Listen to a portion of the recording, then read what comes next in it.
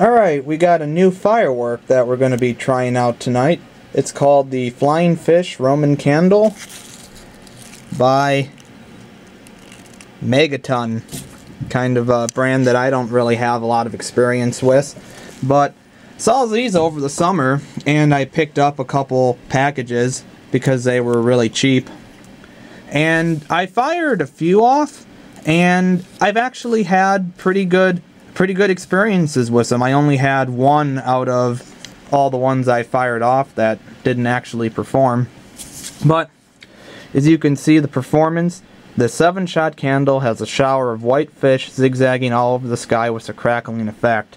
So they're 7 shot Roman candle with a flying fish and crackling effect, which is what intrigued me when I saw them in the store and why I picked a couple up. And as I just said, they have a pretty nice effect.